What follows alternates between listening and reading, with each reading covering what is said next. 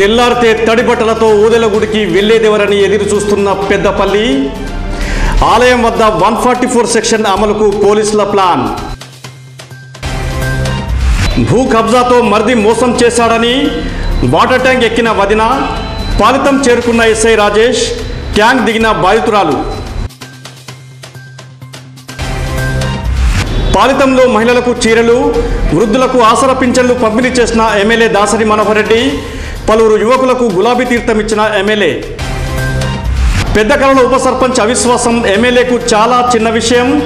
దాసరి జోక్యం లేదని స్పష్టం చేసిన పెద్ద కళల టీఆర్ఎస్ నాయకులు. సద్దుల బతుకమ్మ ఏర్పాట్లను పరిశీలించిన చైర్పర్సన్ మమతారెడ్డి మినీ ట్యాంక్ బండ్పై బతుకమ్మ ఆడాలని మహిళలకు విజ్ఞప్తి.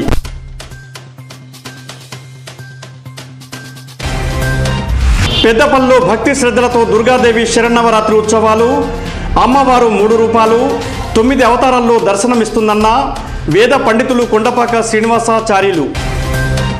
పెద్దపల్లిలో సిపిఐ జాతీయ మహాసభల వాల్ పోస్టర్ల ఆవిష్కరణ బీజేపీ పాలనలో మతోన్మాదం పెట్టరేగిపోతుందన్న జిల్లా కార్యదర్శి తాండ్ర సదానందం. ఎమ్మెల్యే దాసరి మనోహర్ రెడ్డిపై అవినీతి ఆరోపణలను ఖండించిన సర్పంచ్లు ఓదెల దేవాలయంలో ప్రమాణం చేసే ప్రసక్తే లేదు. ఆరోపణలు చేసిన వారే నిరూపించాలని కామెంట్. మల్యాల నుండి బీఎస్పీలో చేరిన యువకులు కండువా వేసి సభ్యత్వం ఇచ్చిన దాసరి ఉష. బ్రాహ్మణపల్లిలోని దుర్గామాత మండపం వద్ద ప్రత్యేక పూజలు ప్రత్యేక పూజల్లో పాల్గొన్న టీఆర్ఎస్ రాష్ట్ర నాయకుడు పడాల స్వామిగౌడ్ దంపతులు.